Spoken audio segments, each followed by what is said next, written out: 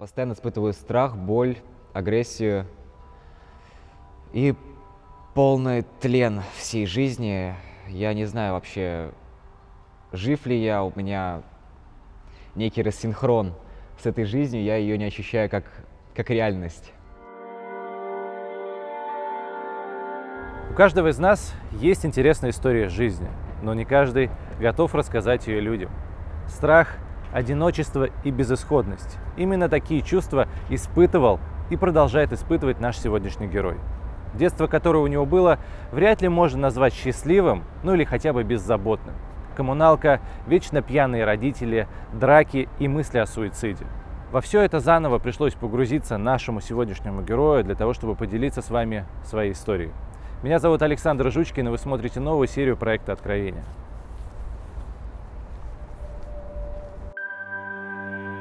Всем привет, меня зовут Елик Вишня, мне 18 лет, и я психически неустойчивый человек из-за того, что я вырос в семье алкоголиков.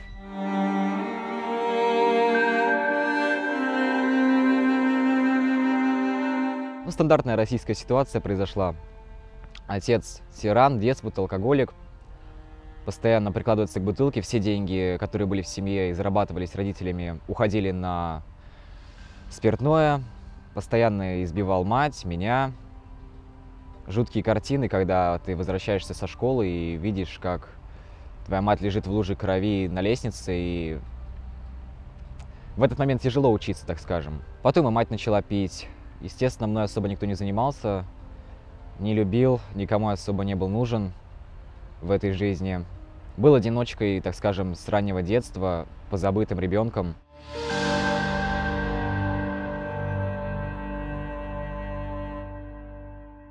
Детство проходило совершенно не по-детски, без диснеевского счастья и красоты.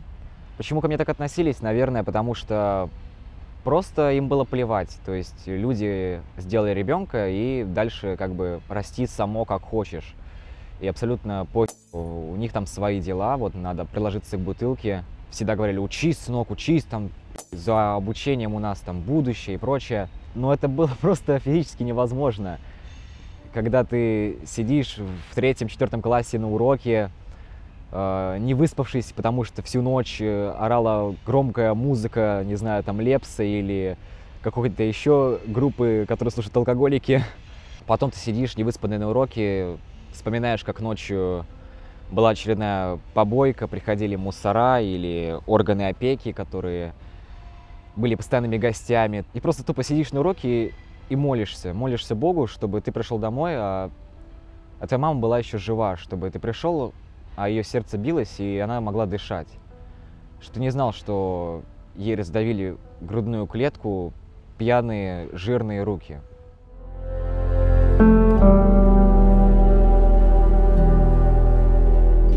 Я пытался пообщаться с родителями, с отцом оказалось бесполезно говорить. Человек меня вообще никак не воспринимал как за что-то существующее. То есть все мои речи — это пустота, как будто бы я ничего и не говорю. Мама была другим человеком, то есть отец был жесткий, мама, когда была трезвая, она была всегда такой мягкой, любящей, э, пыталась помогать мне, поддерживать словами, но не более. И я с ней общался, спрашивал, мам, ну зачем вы это делаете?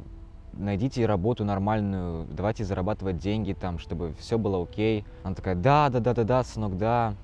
И все кончалось, естественно, тем, что очередная пьянка, побух, и все, и на этом все заканчивалось. Я говорил, все говорили моей маме, то есть я, моя сестра, э, знакомые матери, мои знакомые, все возможные люди, соседи, полиция, уйди от него, он тебя топит, просто вот реально топит в этой жизни. Это не жизнь, но это просто не жизнь. И она говорила, да, все, вот с этого дня мы теперь живем раздельно, пошел он на три буквы, а в итоге ничего не менялось. То есть переносилась бутылка, и она уже веселая, в угаре орет про чертей или про что-то подобное.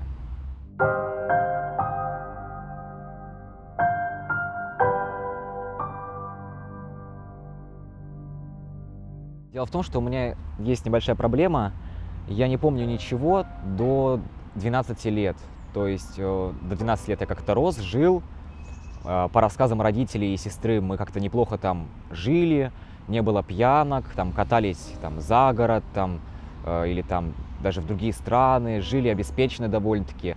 Но я этого всего не помню, то есть у меня вот такая вот амнезия до 12 лет. Говорили мне постоянно и говорят то, что с отцом у меня были хорошие отношения, когда я был совсем мелким, но я об этом ничего не знаю. То есть я помню этого человека именно вот с момента, когда он уже был таким э, ублюдком, так скажем.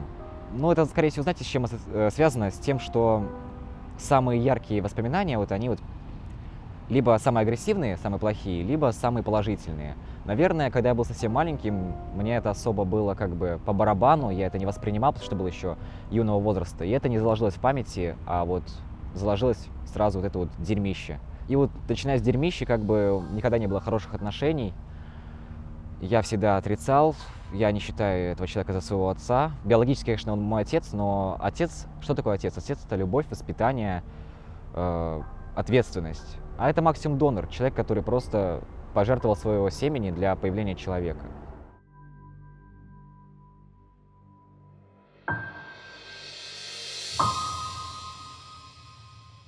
Семейные праздники поначалу шли всегда хорошо, то есть там веселье, там приготовление салатиков, там тортиков, походы по магазинам, покупочки.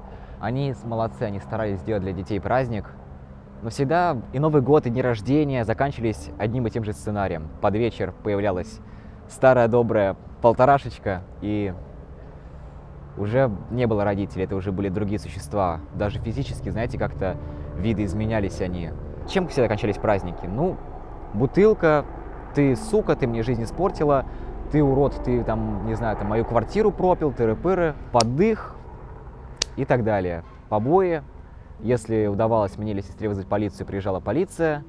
Но так как наши органы только делают вид, что они работают в этой стране, то, конечно же, даже на 15 суток никого друг от друга не убирали, а просто потом родители самих себя, то есть э, с драк между собой переходили на, драк, э, на драки с нами, с сестрой. А ситуация не требовалась вообще для избиения. То есть человек, когда под градусом, тем более неадекватный, а там реально люди как бы психически неуравновешенные. Э, то есть да, у, нормальных алкоголиков, не психически больных, им нужна повод, типа там, не знаю, там, типа, Колян не хочет со мной бухнуть, там, или там, не знаю, что-то еще, там, Зинка шлюха. А тут не так, тут просто человек видит другого человека и такой, тебе пи***, я тебя сейчас буду убивать. И вообще плевать, то что это твой родственник, меня постоянно душили, избивали. Я спрашивал потом, почему, за что? А с утра люди этого не помнят, потому что это уже не было никакого малейшего сознания у людей. Просто в ноль. Если удавалось, там, допустим, выцепить их на неделю трезвости, то, ну, люди либо особо со мной не контактировали, либо там, ой, сынок, там, мы тебя любим, там, все будет нормально, мы больше никогда не будем, это все в прошлом. То есть постоянное обещание, что начнется новая жизнь, вся эта болтовня про любовь, про чувства, про семью, но это просто были пустые слова, потому что люди говорили даже это настолько безэмоционально, что им было плевать. Это были как успокоение и все. В 2016 году э, моя сестра, мне было уже 14, если я не ошибаюсь, ей, ну, прибавьте 6 лет и сами поймете, сколько ей было, она родила ребенка. И это, наверное, был один из серьезных переломов моей психики, потому что, ну, до того не было никакой своей личной жизни, абсолютно. Постоянные драки, побои, попойки родителей. И тут приезжает сестра к нам со своим ребенком, говорит, я тут буду жить.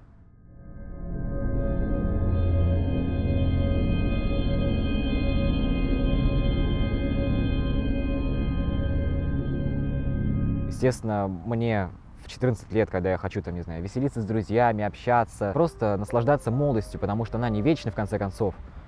Приезжает она, и к попойкам родителям присоединяется еще крик младенца, все эти обгаженные пеленки. Забавно то, что за полгода до появления сестры с ребенком мама более-менее перестала пить, она долго держалась, там несколько месяцев.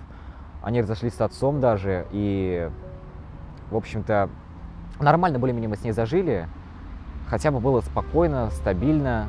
Она начала со мной общаться, проводить как-то время вместе. Мы там ходили туда-то, там какие-то развлечения. То есть я наконец-таки почувствовал хоть какую-то любовь и нужность в этой жизни впервые за все свое существование. И тут появляется сестра с ребенком, и просто полный вид, что меня никогда и не было от матери. Я там говорю, мам, а как же я? Давай со мной там тоже сходим, типа, вот давай там просто погуляем или съездим куда-нибудь там. Обо мне окончательно забыли. Ну и это был вот такой первый перелом серьезный. Первая, так скажем, психологическая травма. Первое осознание ненужности в этой жизни.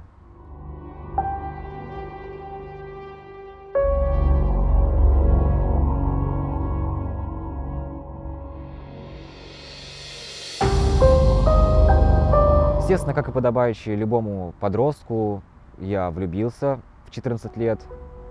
Естественно, любовь оказалась абсолютно невзаимная. Любовь оказалась невзаимной, и то есть, получается, в школе прихожу, вижу человека, которого я люблю, там абсолютная пустота в мою сторону, полные проблемы с обучением, учителя гнобят, а в школе сверстники гнобят за творчество, за то, какой я.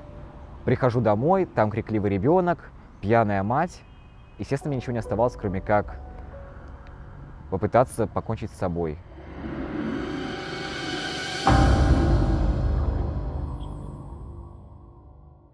Первый раз я попытался покончить с собой в 14 лет. Я пошел на рельсы, лег, это был октябрь, был первый иней, серое небо, полная пустота. Я помню свое состояние. У меня было одновременно и пусто, и знаете, такой вот крик души был внутри. Я просто не выдержал, я заорал, наверное, на пол района было слышно этот крик. Там еще кладбище есть, братские могилы, я там что-то поорал. Потом просто, когда осознал, что к 14 годам я вот такую жизнь имею, а дальше что меня ждет еще хуже, я просто лег на рельсы и лежал полтора часа, ждал, когда меня собьет поезд, смотрел в это серое небо.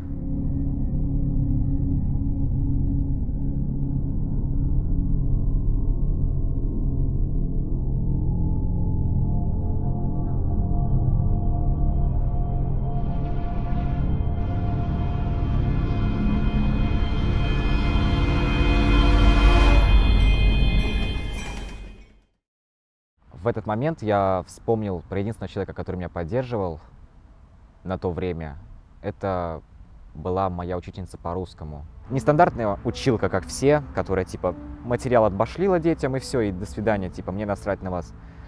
Это действительно был человек, который чувствовал других людей, поддерживал, помогал. Причем она не была классным руководителем, она была просто учительницей по русскому.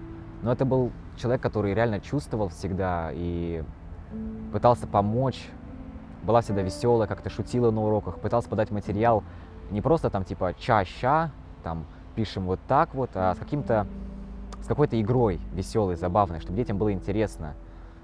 Не все это ценили, естественно, в классе, потому что очень много было, извините за выражение, распи***ев было, по-другому не описать, правда. Но люди такие, как я, которым было важно отношение к себе, мы это чувствовали, и мы ее очень ценили за это. И я помню, в то, в то время рисовал какие-то комиксы, рисуночки, снимал свои блоги. Все говорили, что это дерьмо, мои родители говорили, когда были трезвые на пару минут. Э, там классный руководитель подходил и говорил, типа, ой, да хи ты занимаешься, сверстники то же самое мне утверждали. А вот этот человек мне говорил всегда то, что ты продолжай. Да, сейчас вот так получается, но у тебя есть какой-то талант, и ты просто продолжай, наплюй на все. Вот эта женщина, она заменила, по сути, мне мать, того человека, который должен был мне все это говорить про то, что я не должен отчаиваться, про то, что я кому-то нужен, про то, что я не одинок, про то, что нужно, несмотря ни, ни на какие преграды или боли, продолжать дальше существовать, продолжать дальше что-то делать и стремиться к мечте. Матери у меня не было. У меня была учительница по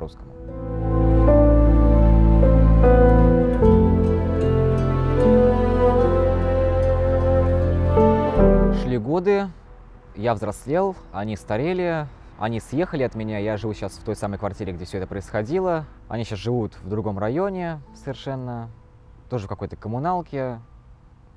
очень плохом состоянии они, и психологическом, и физическом. Им уже по 50, матери 53, нужны лекарства, денег нет. Они без работы сидят, постоянно пьют, не знают, откуда они находят деньги на а, аренду и на выпивку. Для меня это загадка, честно говоря. С водителями мы периодически общаемся, но не по моему желанию. Я очень сильно хочу забыть этих людей как можно скорее.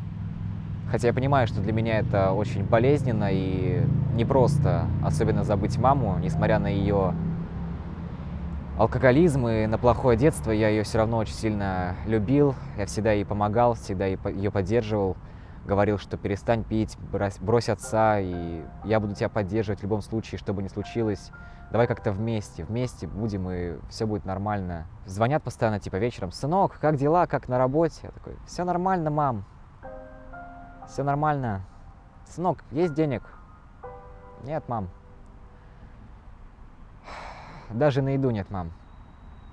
Нету. Так и живем, мам. Зовут в гости. Ну, приезжаю к ним там раз в неделю, раз в две недели. Приезжаю, они там как в молодости устраивают свои бухие концерты, и просто я будто бы перемещаюсь. Такой, оба, добро пожаловать в детство. Поэтому я стараюсь к ним особо не ездить. Мне это не очень интересно. Хватает сейчас других новых проблем, и возвращаться к старым я абсолютно не горю никаким желанием.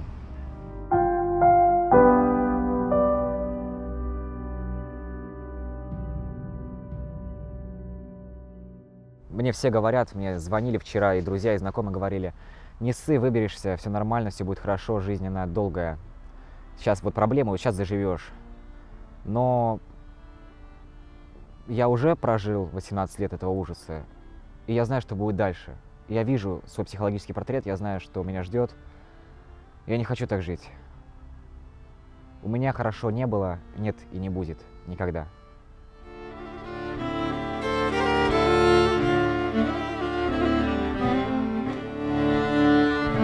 Ну что, ребят, только что я вас познакомил с историей Елисея, и во время съемок этой серии в голове у меня сидел один вопрос. Как можно поставить алкоголь выше, чем своего ребенка, как можно жить в таких условиях и не замечать, что ты находишься на самом дне. Если вдруг меня смотрят какие-то родители, может быть, э, семьи неблагополучные, то хочу сказать от себя, задумайтесь о своей жизни, посмотрите, как вы живете и посмотрите, как вы относитесь к окружающим. Мне больше нечего сказать. Меня зовут Александр Жучкин. Вы смотрели новую серию проекта Откровения. Если у вас есть интересная история из жизни и вы хотите поделиться с этой историей с людьми, обязательно присылайте мне в Инстаграм или пишите в ВК, у меня там открытая личка. До скорых встреч, друзья, пока!